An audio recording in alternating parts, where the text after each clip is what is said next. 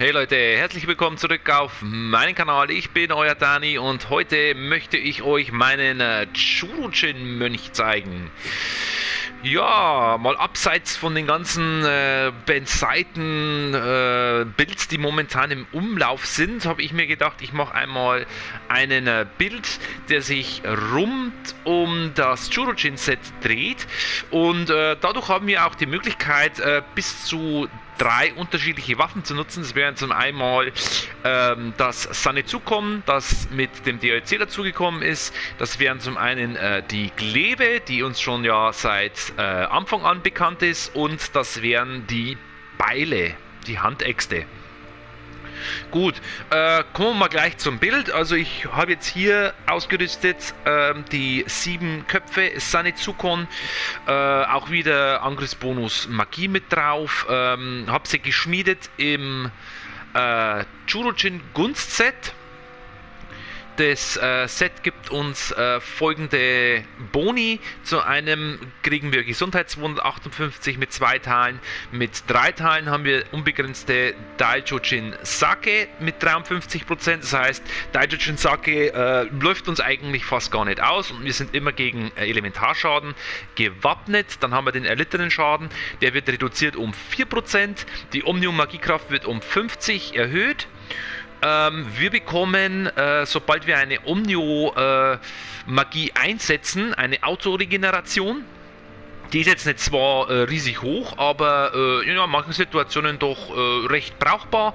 Gerade wenn wir nur ein bisschen Schaden bekommen haben, dann wir wieder bei vollen Leben sind und dementsprechend unseren äh, Schadensoutput maximieren können. Und bei den sieben Teilen bekommen wir den Angriffsbonus auf die Magie B, äh, was uns ermöglicht, verschiedene Waffen, die auf äh, Magie zu skalieren, die auf Magie skalieren, zu benutzen. Gehen wir mal weiter. Ich habe im Set im Setup mit drin, den großen Chidori-Speer. Ähm, vom Set Rot der Hingabe. Der gibt mir zum einen wieder äh, einen Gesundheitsboost von 172. Dann habe ich ewiges Key. Zeige ich euch mal, was es heißt. Gibt dir eine Chance, der Erschöpfung zu widerstehen, wenn du von einem Gegner getroffen wirst und kein Key mehr hast. Ja, Heißt auf gut Deutsch, äh, gerade mit dem Sanetsukon, äh, wo wir ja im Drachentanz oft auf 0 Key laufen wollen, damit wir äh, uns buffen können, haben wir hier äh, eine 50-prozentige Lebensversicherung, dass uns äh, keiner äh, in, den, in den Erschöpfzustand äh, bringt und uns demens dementsprechend halt einen Todesstoß verpasst. Ebenso mit dabei ist der Nahkampfschaden, der um 4% geboostet wird und das Blocken wird um 20 Punkte verstärkt. Nette Bonis, die wir gerne mitnehmen. Ähm, das Ganze ist ein ähm, mittleres äh, Set und äh, macht uns dementsprechend halt dann auch schwer mit dem restlichen Setup, was ich euch dann auch gleich äh, zeigen werde.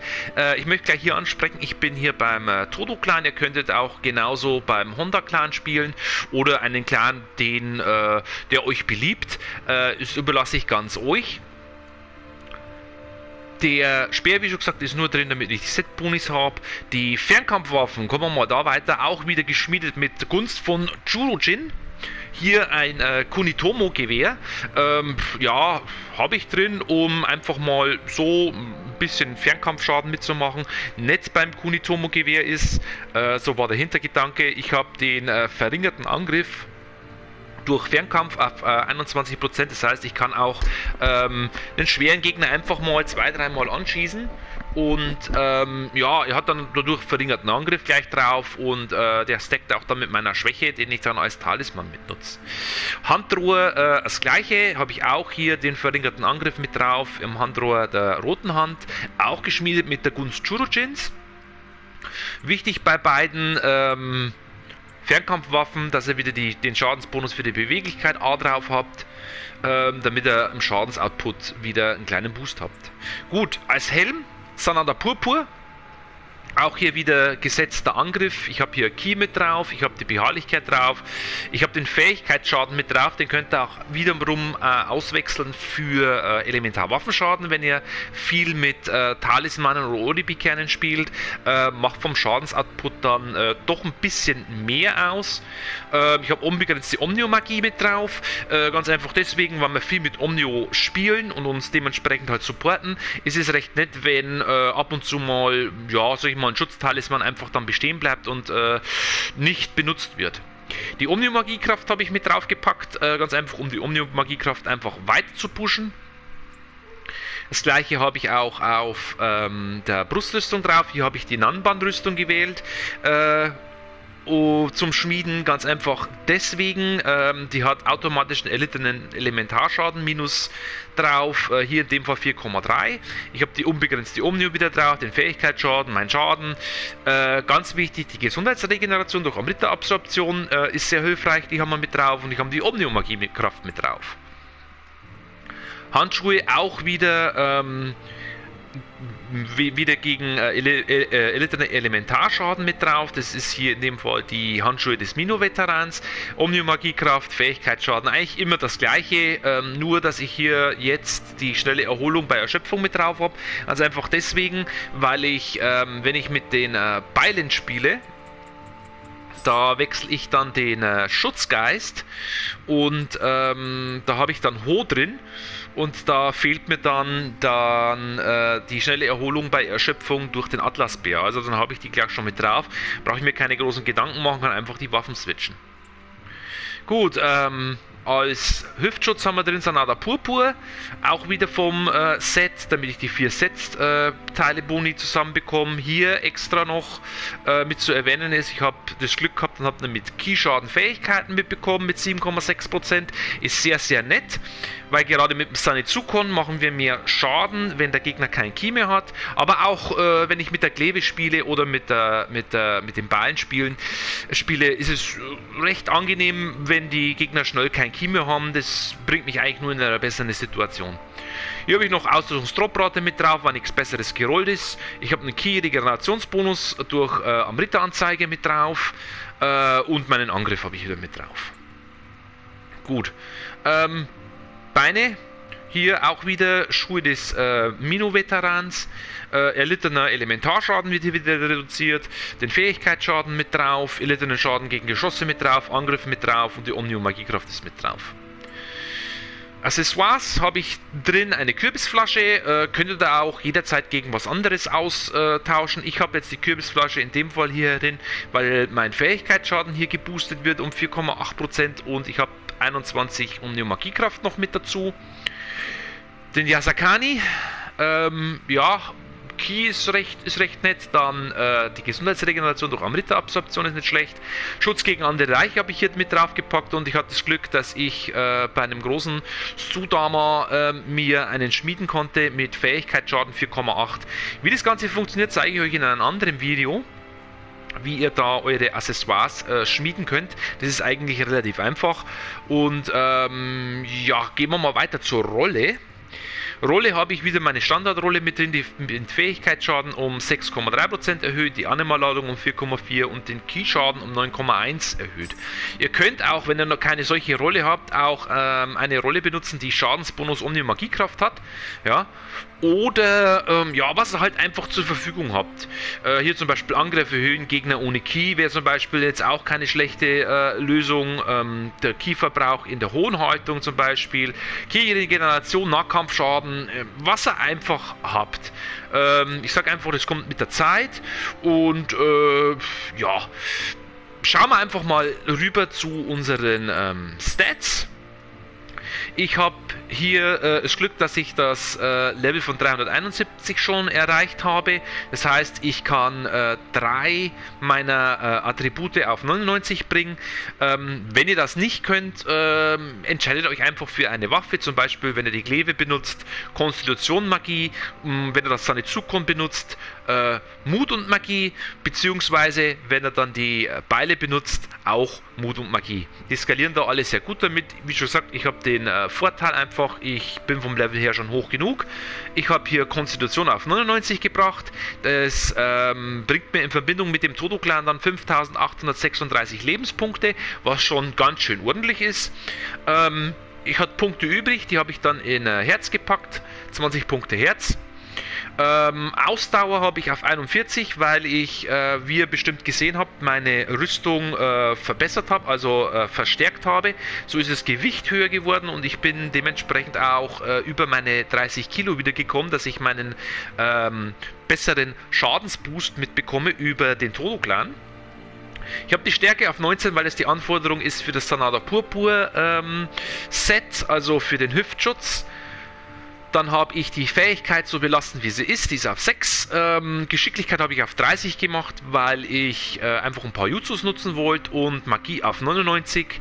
Ähm, ja, ganz einfach, weil unsere Waffe drauf skaliert. Gibt mir die Möglichkeit, ähm, langwirkende äh, Omnium-Magie zu zaubern. Ob das jetzt Barriere-Talisman, Stahl, Schutz-Talisman oder Lebensegel ist. Die halten jetzt dadurch sehr, sehr, sehr lange. Und auch, weil wir unsere Omnium-Magie-Kraft über die Ausrüstung noch gepusht haben.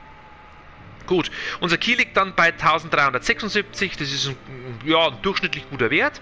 Ja, so sowas bekommen wir eigentlich fast jedem äh, äh, äh Bild in dieser, in dieser äh, äh Range, in dieser äh, Level Range hin. Mm, wir haben, wie schon gesagt, das Ausrüstungsgewicht über 31 gepusht, sind dann bei einer Beweglichkeit von B mit 64,9%. Unser Sanizukon macht 2761 äh, Schadenspunkte bei 96 Brechen und 71 Blocken, plus die 20, die wir über das Set noch mitbekommen, sind wir bei 91 Blocken, also ein sehr, sehr guter Blockwert. Ähm, Brechen könnt ihr äh, über eure Waffe dann noch äh, verbessern, indem dass ihr Fähigkeitsbrechen mit drauf macht oder Brechen allgemein. Nahkampfwaffe 2 ist unser äh, Kreuzspeer, unser Chitori Kreuzspeer, den können wir außer Acht lassen, der ist nur da, dass wir das Set voll kriegen. Fernkampfwaffe, die, ähm, das, äh, Handruhe mit 2318 Punkten, also macht gut Schaden auch auf Distanz und unser äh, Lundenschlossgewehr mit 2291 Punkten ist auch recht gut. Unsere Verteidigung liegt jetzt somit bei 3406 Punkten. Ähm, Zähigkeit sind wir über das Hardcap hinaus mit 259, also sind wir im A-Bereich. Ähm, unser Gift- und Lähmschutz ist hier sehr, sehr hoch mit 31. Unser Blitzschutz ist ganz passabel. Äh, Wasserschutz ist ein bisschen niedrig. Ähm, ebenso wie der Feuerschutz, aber äh, das können wir ganz äh, klug umgehen, indem dass wir einfach den Daijujin Sake mitnehmen und äh, wir dadurch äh, ja kurzzeitig mal fast immun sind gegen ähm, Elementarschäden. Gut, dann schauen wir uns mal die äh, Sondereffekte an. Also Angriff ist auf plus 183, äh, Angriffsschaden, hohe Haltung steht jetzt hier noch 8%, das wird auf 4% dann ähm, reduziert, weil ich mit dem Atlasbär hier spielen werde. Äh, Fähigkeitsschaden ist bei 36,9%, ähm, die, äh, der An Angriffsbonus für Ausrüstungsgewicht, hier steht er, ähm, ist bei A, weil wir beim Todo-Clan sind. Wir haben einen Schadensbonus Beweglichkeit von A. Wir haben, ähm, wo ist es? Keyschaden-Fähigkeiten von 29,4%, also ein sehr, sehr hoher Wert. Ähm, das heißt, wir brechen dementsprechend auch äh, schnell das Key vom Gegner, was mit dem Sanizukon oder generell mit jeder Waffe eben Weg des Dämons eigentlich äh, wichtig ist, dass wir verfluchte Gegner äh, entweder durchbohren können oder äh, sie einfach in den Status bringen, dass sie kein Key mehr haben und dann ähm, ja, äh, finishen können und sie aufmachen für Schaden. Gut, gehen wir mal über zu den äh, Schutzgeistern. Ähm, wie ihr hier schon seht, ich benutze den äh, Atlasbär. Als sekundären benutze ich dann äh, Ho, ganz einfach um die 4% ähm, von der hohen Haltung nochmal mitzuholen. Äh, Schöne ist beim Atlasbär, gerade mit dem Sanizukon, wo ich ziemlich hohen Kieferbrauch habe, äh, komme ich schnell in diesen äh, äh, Schadensbonus für niedriges Key mit rein. Ich habe die schnelle Erholung bei Erschöpfung mit drauf und 5% Angriffsschaden. Bei den Kernen habe ich wie immer den äh, Nubeppo mit drin. Seit dem DLC ist er eigentlich bei mir mitgesetzt. Mhm. Ich habe hier zusätzlich noch eine Yamamba mit drin, weil wir können wir, wenn wir ähm, dementsprechend Glück haben, sage ich mal, ähm, einen Dreier-Stack hinaufbekommen auf unseren äh, Charakter, indem dass wir einmal Yamamba ähm, ihre äh, Yokai-Fähigkeit machen, die gibt uns einen Schadensboost. Wenn ihr hier nämlich lest, der verwandelt dich in eine Yamamba, wetze deine Messer, um vorübergehend deine Angriffskraft zu steigern. Daraufhin verführst du einen Satz nach vorne, um auf den Feind einzustechen. Also das gibt uns einen Schadensboost. Zum einen gibt uns der, ähm, der Blutrausch von äh, Nubeppo einen schönen Boost und wenn wir dann auch noch den Gegner mit unseren Onibi, den ich mit eingepackt habe, ähm, verwirren können, also sprich äh, zwei Elemente drauf wirken können, dann ähm, stehen die eigentlich nicht, nicht lange. Gut, soviel zu den Schutzgeistern. Gehen wir mal äh, über zu den einzelnen Fähigkeiten. So, dann gehe ich mal hier auf das äh, Sanetsukon ein bisschen genauer ein mit dem äh, Skillbaum, ähm, weil ja, es halt so ziemlich neu ist. Ähm, die anderen beiden Waffen werde ich dann nur äh, kurz mal anschneiden. Ähm, die dürften ja soweit bekannt sein. Falls Fragen sind, stellt sie natürlich in der äh, Kommentarsektion. Äh, die beantworte ich euch dann gerne. Gut, schauen wir mal, was gibt es alles beim äh, Sanetsukon? Also mal einmal der Drachentanz, der äh, mit unserer Haupt-Damage-Quelle mit ist.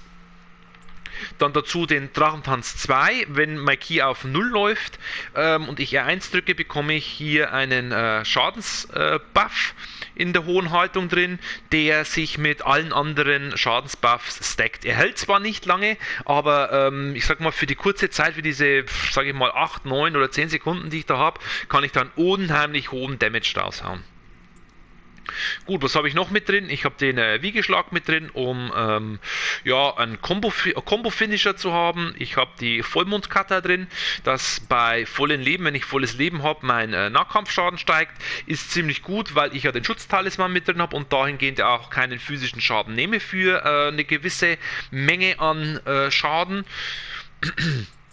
Ich habe drin als ähm, hier ist sie, als äh, mystische Kunst einmal das Gesetz der Sterblichkeit, Angriffe, deren Reichweite steigt, wenn die Taste gedrückt gehalten wird, erzielen jetzt mehr Schaden. Also der Unterschied zwischen Gesetz der Sterblichkeit und äh, dem Gesetz der Großzügigkeit ist einfach nur, spiele ich mit einem ähm, Bild, der darauf aus ist, schnellstmöglichst ja, irgendein äh, Element zu, zu brocken, elektrifiziert, überschwemmt, äh, von mir aus auch vergiftet oder so, dann ist die Großzügigkeit besser. Da wir das aber nicht machen, gehe ich lieber auf das Gesetz der Sterblichkeit und habe einfach mehr Schaden drin. Ähm, Angriffe, deren Reichweite, ähm, ja, deren Reichweite steigert, sind zum Beispiel hier, wenn er schaut, ähm, der, der Wiegeschlag oder ganz besonders hier der Drachentanz, weil sich dann dementsprechend unser Sanetsukon teilt und äh, ausklappt und ich dann zwei so ja, große Flegel oder Peitschen habe, äh, mit denen ich dann auf meine Gegner eindresche. Also diese, ab diesem Punkt, wenn sich das Sanetsukon dann verlängert, bekomme ich mehr Schaden. Ich habe mit drin den Formwandelschlag, manche sind da kein Freund davon. Ähm, wer äh, eine, eine, eine, andere Möglichkeit haben will zum Formwandelschlag, ähm, die äh, finden wir dann, wo ist sie? Ähm, hier zum Beispiel Zwillingsphoenix 1, 2 und 3, den finde ich aber ziemlich schwer zum, ähm, zum Rausbringen, also zum, zum äh, Procken. Äh, spielt dann doch lieber mit dem Formwandelschlag. Ich habe hier ganz wichtig unten mit drin im kompletten unteren Baum alles. Äh, Katata 7 Sterne. Wenn ich äh, meinen Gegner sein Key auf 0, be 0 äh, bekomme, bekomme ich einmal 4, einmal 2 und noch einmal 2, also 8% Schaden mehr, die ich ihm einfach äh, zufüge. Ich habe die Wege in Jenseits mit drin. Äh, einfach um den, den Durchbohrschaden mit zu erhöhen. Ich habe den Schattenschlag drin, dass ich bei äh, Gegnern in den Rücken mehr Schaden mache. Ähm, was habe ich noch drin? Den Seitenspalter habe ich mit drin. Das ist eine sehr gute Fähigkeit, um äh, Gegner, die einfach auf Distanz stehen, äh, zu erwischen. Äh, manchmal auch dann vielleicht noch Ski zu brechen. Ich habe den Schienbeinknacker mit drin, das ist unsere Fähigkeit, um ähm, ja, Key generell zu brechen. Das kann ich dann mit den Schienbeinknacker 2 ähm, verbinden und wenn er das richtig timet, äh, bekommt er eine schnellere Animation. Bricht das Key relativ gut, ähm, ist aber schwierig, dass ich dann äh, gerade bei Menschengegnern, die viel blocken, ähm, durchbekomme. Äh, da muss ich die erste, äh, den ersten Angriff, die erste Animation muss ich dann äh, äh, ins Leere hauen, also whiffen und dann ihn mit den Schienbeinknacker an sich, also diese Drehbewegung mit dem Sanetsukon äh, erwischen und ihn dann äh, kombinieren mit dem ähm, Roundhouse Spin.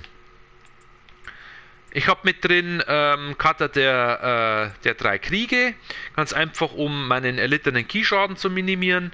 Äh, ich habe drin die Unerbittlichkeit, damit ich dementsprechend halt auch äh, noch ein bisschen Key bekomme. Ich habe die letzte Unerbittlichkeit 3 nicht drin, weil ich da äh, Punkte in den äh, unwirksamen Geist mit reinstecken müsste, äh, die ich jetzt einfach nicht übrig habe. könnt ihr aber machen. Ähm, ist jetzt an sich auch äh, kein schlechter Pfad, den man noch mitgehen kann, weil einfach die Key-Regeneration steigt, wenn ich bei 30% Leben bin. Gut, ich habe noch, äh, was wollte ich noch mit ansprechen? Ähm, genau, ähm, genau, Drachentanz belegen wir mit unserem äh, Magie-Attribut. den ähm, Zwillingsphönix, wenn ihr den benutzt, könnt ihr dann mit Konstitution bzw. mit dem Mut-Attribut äh, belegen oder halt dann den äh, Formwandelschlag, äh, je nachdem, äh, gleichzusetzen mit ähm, Konstitution oder Mut belegen. Äh, Schienbeinknacker ist hier der meisterhafte äh, Hieb gesetzt. Äh, ganz einfach, weil wir mit dem unser Key brechen. Gut, gehen wir mal über zu den äh, anderen anderen äh, Skills. Zum einen habe ich bei der äh, Gleve drin ganz normal Kralle, Schleichangriff, dann ähm, aus dem Nichts habe ich mit gelevelt. Ich habe den Flächenbrand äh, Kraftfluss mit drin, erhöht deine Angriffskraft um eine Stufe, wenn du Haltung wechseln, Vergeltung, Schneide oder Klinge einsetzt. Wurde deine Angriffskraft fünfmal erhöht, halte R1 gedrückt, um deinen Gegner mit einem verheerenden Schlag anzugreifen. Also wir äh, werden dann einfach jedes Mal, wenn wir äh, diese Haltung wechseln machen, äh, immer wieder stärker in den Angriffen bis zu fünf Mal und dann können wir äh, einen großen finalen Schlag mitsetzen, wenn er dementsprechend dann auch mit dem ähm, Nubeppo gebufft seid, vielleicht eine Kraftpille oder Yamamba noch mit drin habt, macht er dann auch schon sehr, sehr guten Schaden. Gut, ich habe die tödliche Vergoltung drin auf meisterhaften Hieb, weil ich festgestellt habe, die bricht ziemlich gut das Key. Ich habe die Haltung wechseln drin, ähm, jeweils auf äh, äh, beiden Stances. Habe hier bei Haltung wechseln, wechseln Klinge äh, mit drin den Schadensbonus für Mut. Ich habe äh, die unendliche Vergoltung mit drin. Ich habe die leere Vergoltung mit drin. Äh, beide jeweils äh, wieder mal gesetzt mit Konstitution oder mit Magie. Ich habe den Vater 3 drin. Die himmlische Vergoltung habe ich mit drin, falls der Gegner kein Key mehr hat. Also Menschengegner. Ich habe die geistige Schneide drin. Auch wieder Haltung wechseln. Wind gepeitscht habe ich. Äh, blendende Schneide habe ich drin. Äh, kurzzeitige Schneide. Vergängliche Klinge. Ja, wieder die Wechselung. Äh, verhängnisvolle Klinge habe ich mit drin. Ich habe die wirbelnde Klinge mit drin, gerade wenn ich mal gegen äh, Gegner, die mit Fernkampfwaffen spielen, äh, antreten muss, kann ich sogar Kanonenkugeln zurück, äh, zurückwerfen, was oft sehr, sehr hilfreich ist, wenn ich so schnell an den Gegner nicht rankomme. Gut, und hier könnte ich noch setzen Pfad der 3, das mache ich auch gleich. Und dann hätten wir ähm, das, äh, den Gle die Kleve. Gut, bei den Beilen sieht es folgendermaßen aus. Ich habe die Kralle, Schleichangriff, dann heranziehender Sturm habe ich mit, äh, mitge, ähm, mitgelevelt. Ähm, ich habe den waghalsigen Hieb hier mit drauf gemacht. Ganz einfach, naja, falls ich mal doch einen Ansturm mache, ist es nicht schlecht wenn ich da ein bisschen mehr Damage mache. Ich habe den geübten Wurf mit drin, dass wenn ich meine Würfe präzise time, ich mehr Schaden mache. Ich habe den Todeshagel mit drin, das ist einer so meiner Haupt-Damage-Stile mit, die ich habe, weil ich hauptsächlich in der hohen Haltung mit drin bin, hat der Schadensbonus Mut bekommen. Ich habe den durchdringenden Wurf drin, Licht, damit ich äh, schneller werfen kann, also nicht so lange äh, in der Animation stecke. Ich habe die Dämonenfallkerbe mit meisterhaften Hieb drin, weil sie sehr, sehr gut Key bricht. Ich habe die Libelle mit drin, um Gegner einfach mal festzunageln auf der Stelle. Ich habe im Flammen drin, das ist mein, mein Buff, der mich um, ja, ich glaube, circa 28, 29 Prozent äh, bufft. Dann habe ich mit drin, halt, stopp. Äh, Tod von oben ist mit drin. Ich habe die Dämonenvorkerbe wieder mit drin, ich habe wieder eine Lebelle mit drin, ich habe den wütenden äh, Wolf mit drin. Wenn ich gegen Menschengegner kämpfe, die viel blocken, kann ich die äh, auch so zu Boden ringen und in das Key brechen. Ich habe die tödliche Spirale habe ich mit drin, die bekommt er von äh, Shibata Katsui, also ohne Shibata. Ähm, gut, Hart wie Stein ist mit dabei, äh, im Flammen wieder mit dabei. Die drehende Krabbe habe ich mit drin, um äh, bei Yokais einfach mal schnell ähm, äh, ein Element zu, zu procken. Hier mit Arcana des Wassers belegt. Ich habe den Schatten des Adlers mit drin. Ich habe den wütenden Wolf wieder mit dabei. Ich habe den Kettenwurf mit dabei. Ich habe den Bergsteiger mit dabei, um einfach mal aus brenzlichen Situationen rauszukommen. Und äh, ja, den in Flammen habe ich mit dabei. Gut, es soll es dann zu meinen Fertigkeiten gewesen sein. Ähm, gehen wir mal über zu den Jutsus. Gut, gehen wir mal über zu den ähm, Ninjutsus. Äh, ich habe zum einen einen Stahltalisman mit drin, um mich vor Schaden zu schützen. Ich habe den Schutztalisman drin, um mich für eine Zeit für einen physischen Schaden zu schützen. Regenerationstalisman, um fortwährend äh, Lebensregeneration zu haben. Ich habe den äh, Lebensegel mit drin, damit ich, wenn ich den Gegner treffe und ihn damit bezaubert habe, äh, Leben immer wieder äh, zu bekommen. Ich habe den Barrieretalisman jetzt hier mit eingepackt, weil er ziemlich lange hält und uns äh, unsere Key-Regeneration Regeneration hochhält. Ich habe die Kraftpille mit drin, falls ich mal mit Yamamba oder mit Nupeppo nicht äh, buffen kann, äh, habe ich hier einen schnellen Buff mit drin. Gerade am Anfang eines Kampfes ist der recht hilfreich. Ähm, ich habe mit drin die äh, Donnerhölle, die acht kalten äh, Höllen habe ich mit drin und ich habe die Flammenreihe mit drin, ganz einfach um Verwirrung zu brocken auf meine Gegner. Ich habe Gegengift mit eingepackt, ich habe heiliges Wasser mit eingepackt, falls der Barrieretalisman mal ausgeht und ich habe den Daijushin Sake mit drin, weil der über das Set auch äh, ziemlich viele Bonus hat, indem dass er einfach um äh, 52% ähm, ja, nicht nicht benutzt wird. Also ich habe ziemlich oft und ziemlich viel ähm, den Daijujin Sake zur Verfügung während einer Mission, was mich gegen Elementarschaden dann äh, ja, resistent macht. Gut, das wären soweit die Jutsus. Dann schauen wir mal weiter. So, da sind wir wieder in der äh, Bildrollen-Mission mit drin. Hier ähm, Dämonenparade auf 318. Und äh, dann schauen wir einfach mal, wie sich das äh, Sanetsukon hier äh, schlägt. Wohlgemerkt, äh, ihr könnt auch genauso jetzt mit der, mit der Klebe spielen oder mit den Ballen spielen. Das überlasse ich euch. Ich zeige euch wieder mal das Gameplay von ähm, den neuen Split Staff. Und bevor wir beginnen, einfach unsere Buffs drauf. Dann nehmen wir noch eine äh, rote Spinnenlilie nehmen wir noch mit dazu, damit unser Anima dann voll ist, damit wir dann auch, wenn es soweit ist, einfach ähm, unsere äh, Buffs raushauen können. Das wäre in dem Fall äh, die Yamamba und äh, der Nubeppo. Und was brauche ich noch? Genau, Barriere-Talisman brauche ich noch. Und dann legen wir mal los.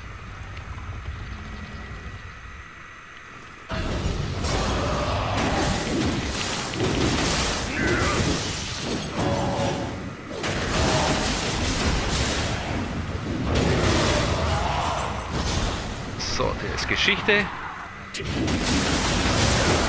Die Gakis noch.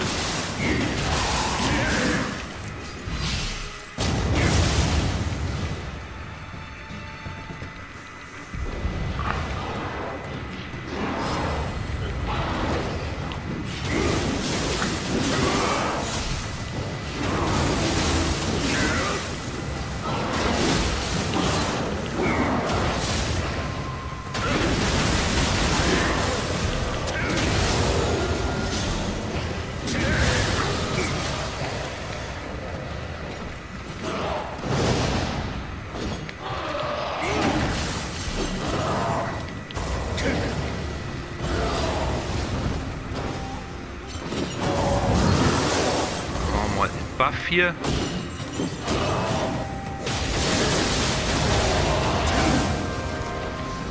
Buffen uns hier noch so.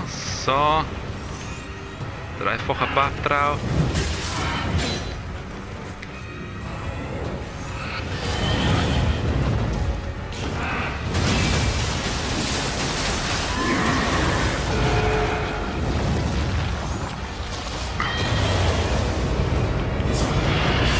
Mamba-Buff.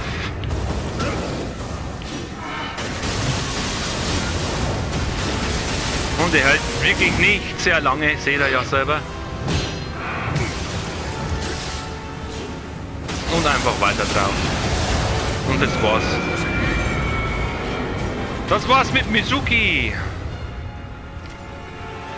So, das Feuer hier aus. So, habt ihr mal gesehen, wie der ähm, ja, Split äh, sich so spielt? Also er haut in diesem Bild schon äh, ziemlich gut äh, Schaden raus in einer kurzen Zeitraum auch, äh, ihr könnt drei Stacks draufhauen vom Schadensbuff, also einmal hier äh, die äh, Yamamba, die ihr nehmen könnt. Ihr könnt zum äh, anderen auch den Beppo mit draufstecken.